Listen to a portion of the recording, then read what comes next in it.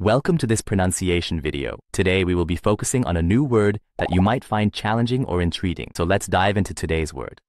Mailand, which means, Mainland. let's say it all together. Mailand. Mailand.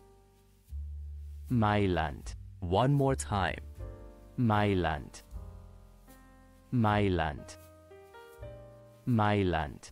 Thank you for joining us on this adventure in pronunciation. Remember, language is a journey, not a destination. Keep exploring, experimenting, and expanding your linguistic horizons. We'll see you next time.